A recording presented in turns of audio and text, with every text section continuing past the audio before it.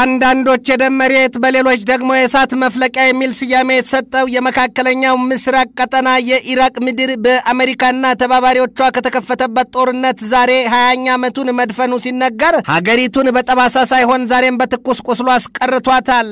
ይህንኑ ርዕሰ ጉዳይ ለዓለም አቀፉ ትንታኔ ዘገባችን መርጠን አሰናድተነዋል። ከትንታኔ ዘገባው ጋር ትዕግስቱ በቀለ ነኝ። ዛሬ የሙስና ወረርሽኝ መተናፈሻም መድረሻም አሳጥቷታል የሚባልላት ኢራቅ ልክ ከዛሬ 20 ዓመታት በፊት በአሜሪካ ፊት አውራሪነትና አጋፋሪነት መጋቢት 20 2003 በአውሮፓውያኑ አቆጣጠር ከሰማይ ከምድር የእሳት ዶፍ እንደወረደባት ይታወቃል። የዚያ በኢራቅ የተደረገው የአሜሪካ መራሽ ወረራና ዘመቻ ደግሞ በዋናነት የሀገሪቱን አምባገነን መሪ ሰዳም ሁሴንን ለማስወገድና ኢራቅ ይዘዋለች በሚል ሲነገርለት የነበረውን የጅምላ ጨራሽ የጦር መሳሪያ ለማውደም መሆኑ በዋናነት ሲነገር እንደነበረም አይዘነጋም። በዚያ ጊዜ ታዲያ የአሜሪካው ፕሬዚደንት ጆርጅ ዳብሊው ቡሽ በቴሌቪዥን ተቀድቶ በተላለፈው መልእክት ከማሰማቱ በፊት የአየር ድብደባው በኢራቅ ላይ መጀመሩን ዘገባው ያብራራል። በዚያ ዕቅድ በዋናነት በእንግሊዝ ጦር ኃይል የሚደገፈው የአሜሪካ ጦር ስለተወራለት የጅምላ ጨራሽ የጦር መሳሪያ ያገኘው አንዳች ነገር የለም። የአሜሪካው ፕሬዚደንት ጆርጅ ዳብሊው ቡሽ ወደ ፔንታጎን አምርተው ከመከላከያ ባለስልጣናቱ ጋር ባደረጉት ውይይት ለዚያ የኢራቅ ወረራ የሚውል የ75 ቢሊዮን ዶላር ጥያቄ ማቅረባቸው ይታወሳል። የዚያን የአውሮፓውያኑ 1990 ዘመን በመካከለኛው ምስራቅ ቀጠና ግዙፍ የእሳት ማዕበል የገነፈለበት ዘመን እንደነበረም ይታወሳል። በዚያን ጊዜ ታዲያ ልክ ነሐሴ 2990 የአውሮፓውያኑ የኢራቅ ኃይሎች ኩዌትን ልብስ አድርገው ማጥለቅለቃቸው፣ በሌላም አነጋገር መውረራቸው ይታወቃል። ያቺ ሚጢጥየዋና በነዳጅ ዘይት ሀብቷ የናጠጠችዋ ኩዌት መጮህ ቢሉ መንፈራገጥ አልሆነላትም። በጊዜው የነበሩት የኩዌቱ አሚር ከነ ቤተሰቦቻቸው አውጭኝ እግሬ ሲሉ ሳውዲ አረቢያ መግባታቸውን ተከትሎ ሌሎቹም የኩዌት መንግስት ባለስልጣናት ወደዚያው ማምለጣቸው ይታወሳል። ከዚያም በሰዓታት ዕድሜ ውስጥ የኩዌት ምድር በኢራቅ ኃይሎች ሙሉ በሙሉ መያዟም ይታወሳል። በዚያን ዕለት ታዲያ የመንግስታቱ ድርጅት የጸጥታው ምክር ቤት ኩዌትን የወረረው የኢራቅ ጦር ያላንዳች ቅድመ ሁኔታ ለቆ ይወጣ ዘንድ መግባባቱና ወዲያው ደግሞ ነሐሴ 6 2003 የጸጥታው ምክር ቤት ከኢራቅ ጋር የሚደረጉ ዓለም አቀፍ የንግድ ዝውውሮች እንዳይደረጉ ማድረጉ በታሪክ ሰፍሯል። ነሐሴ 9 ቀን በአውሮፓኑ ዘመቻ የበረሃው ማዕበል በሚል በሳውዲ አረቢያ የሰፈረው የአሜሪካ ኃይል በዚያው የፋርስ ባህር ላይ ማዕት ሊያወርዱ ማሰፍሰፋቸውም ይታወሳል።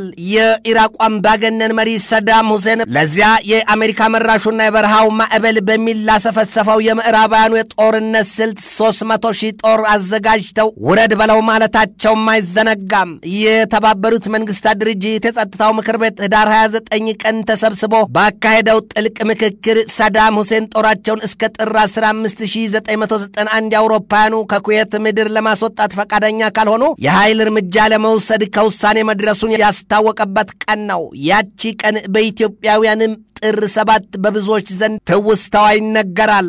ይሁንና የኢራቁ ፕሬዚደንት ሳዳም ሁሴን የጦር ኃይላቸውን ከኩዌት ለማስወጣት ፈቃደኛ ባለመሆናቸውና ይብሱንም ኩዌትን አስራ ስምንተኛ ክፍለ ሀገራቸው የማድረጋቸውን ነገር መግለጣቸውን ተከትሎ ከሰላሳ ሁለት ሀገራት የተውጣጡ ሰባት መቶ ሺህ የህብረ ብሔር ጦር ኃይል አሰፍስፎ ትዕዛዝ ይጠባበቅ ነበረና ልክ ጥር 16 1991 ዘመቻ የበረሃው ማዕበል አሜሪካ መራሹ ኃይል በኢራቅ ላይ ከጦር አውሮፕላኖች የቦምብ ናዳ ማውረድ የጀመረበት ቀን ነው። ከዚያም ውጪ የአሜሪካና የእንግሊዝ የአውሮፕላን ተሸካሚ የጦር መርከቦች ልጆቻቸውን ያዘሉ እናቶች መስለው በፋርስ ባህር ላይ ተራራ ሰርተው መቆማቸው አይዘነጋም። አሜሪካ መራሹ የሀገራት ጥምረት የጦር አውሮፕላኖች ገና ጀንበሯ ዘቅዘቅ ማለት ስትጀምር በባግዳድና አካባቢዎቿ ላይ ቀያይ በረዶ የሚመስሉ የቦምብ ኳሶችን እንደ ጠጠር ሲያወርዱባት እንደነበር በቀጥታ የቴሌቪዥን ስርጭት ሳይቀር ሲተላለፍ እንደነበረም ይታወቃል።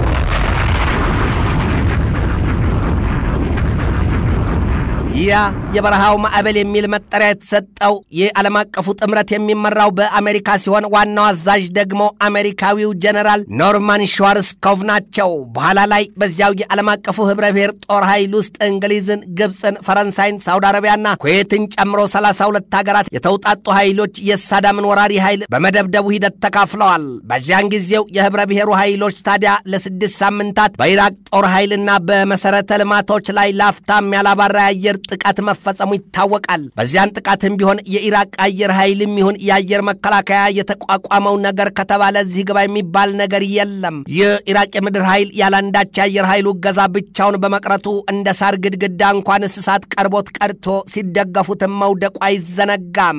ሟቹ የኢራቁ ፕሬዚደንት ሳዳም ሁሴን ብቸኛው የበቀል አማራጫቸው በእስራኤልና በሳውዲ አረቢያ ላይ የስከድ ሚሳይሎቻቸውን ማስወንጨፍ ብቻ ነበረና ያንኑ ሲያደርጉ ጥቂት ቀናትን መግፋታቸው በታሪክ የሰፈረ ሐቅ ነው። ሳዳም በእስራኤል ላይ ተደጋጋሚ የሚሳይል ጥቃት የፈጸሙት እስራኤልን እልህ ጨምረው ወደ ጦርነቱ ለማስገባትና የአረቡን ዓለም ከአሜሪካ ጎን ለመነጠል እንደነበረ ይገለጣል። ይህ ሰላሳ ሁለቱ አባል ሀገራት ጥምረት ለስድስት ሳምንታት በአየር ጥቃቱ ማዕት ካወረደ በኋላ የካቲት 24 ግዙፍ የተባለለት የህብረ ብሔሩ የእግረኛ ውጊያ መጀመሩም ይታወቃል። በዚያ የግዙፍ ጦርነት ሂደት ታዲያ ኩዌት ከአራት ቀናት ባነሰ ጊዜ ውስጥ ነፃ መውጣቷም አይዘነጋም። ከዚያ በኋላ የካቲት 28 ቀን የአሜሪካው ፕሬዚደንት ጆርጅ ዳብሊው ቡሽ የተኩስ አቁም ማወጃቸውና የጸጥታው ምክር ቤት ደግሞ ሚያዝያ ሶስት ጦርነቱ ማብቃቱን በይፋ ያወጀበት ቀን ሆኖ በታሪክ መዝገብ ሰፍሯል። በዚያ ጦርነት ኩዌትን ከኢራቅ መንጋጋ ለማላቀቅ በተደረገው ዘመቻና ርብርብ 148 የአሜሪካ ወታደሮች ሲሞቱ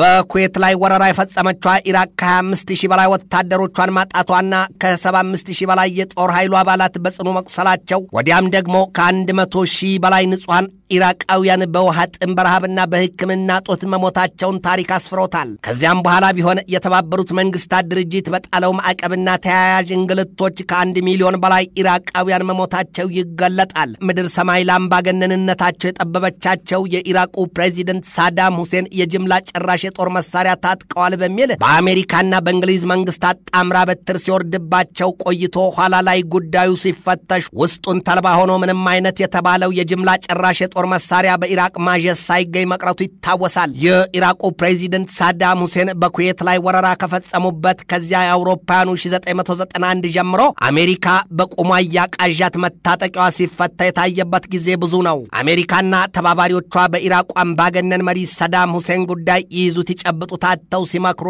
ሲዘክሩ ቆይተው በወሰዱት የጥቃት እርምጃ የአውሮፓውያኑ 2003 መጨረሻ የአሜሪካ ጦር ኃይል ሳዳም ሁሴንን እንደ አንድ መሪ ሳይሆን በሕፃንነታቸው ጊዜ በልጅነት ቦርቀው ካደጉበት የቲክሪት መንደር በአንድ ረባዳማና ጎድጓዳ ስፍራ ከሰው ሳይሆን ከራሳቸው የተሸሸጉ በሚመስል ቦታ ይዟቸዋል። ሳዳም እጃቸው ከተያዘ በኋላ በዚያች ሀገር አለ ሲባል የነበረውና ሳዳም ሲፎክሩበት የነበረው የጅምላ ጨራሽ የኬሚካል የባዮሎጂካዊና የኒውክለር ጦር መሳሪያ አልተገኘም። በዚያ ሁሉ የጦር ወንጀል የተከሰሱት ሰው ሳዳም ሁሴን በታህሳስ 30 2006 የስቅላት ሞት ተፈርዶባቸው መጨረሻቸው ሆኗል። ኢራቅና ዜጎቿን ለዚያ መከራና እስከዛሬው ድረስ የሰቆቃው ጠፈጠፍ እንዳይለቃቸው ያደረጋቸው ይህ ሳዳም አገዛዝ በስ በትውልዶች አእምሮ የማይድን ቁስል የማይጠፋ ጠባሳን ጥሎ አልፏል ማለት አልተቻለም። የዚያች ሀገር አበሳ ዛሬም ድረስ ዘልቋልና አንድ የሀገር መሪ ወይም አንድ ፖለቲከኛ በሕዝብና በሀገር ላይ በአንድ አጋጣሚ በጊዜ ሰጠኝ የሚናገሩት ንግግር ወይም ግብራቸው መርዘኛ ስር ሰዶ የሚዘራ የሚበቅልበትን ሁሉ በታሪክና በትውልድ እንዲሁም በዘመናት ሂደት የማይነቀል መሆኑም እነርሱም ክፉ አሻራቸውን ጥለው ማለፋቸው አይታያቸውም፣ አይታሰባቸውም። ትንታኔ ዘገባውን ስናዘጋጅ በዋቢነት አልጀዚራና ቢቢሲን ተጠቅመናል።